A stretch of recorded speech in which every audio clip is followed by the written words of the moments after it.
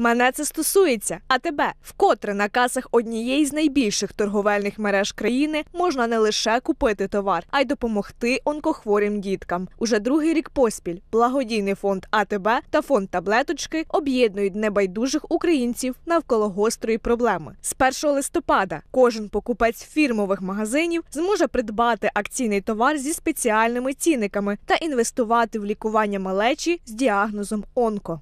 Збільшити відсоток дітей, які перемагають в наших з вами силах. Звичайно, для цього потрібні ліки, обладнання, потрібні витратні матеріали, потрібна психо, психосоціальна допомога. Але ще важливіше, потрібна участь кожної людини. Коли ми всі об'єднуємося, ми здатні зробити так, аби жодна дитина в Україні від раку не помирала. Рак не вирок, доводять благодійники своїм досвідом. Минулого року, завдяки цій же акції, вдалося зібрати більше 10 мільйонів гривень на цільову допомогу хворим дітям. Її отримали 10 онкоцентрів по всій Україні. Керівництво мережі прогнозує ще більшу кількість покупців-учасників акції.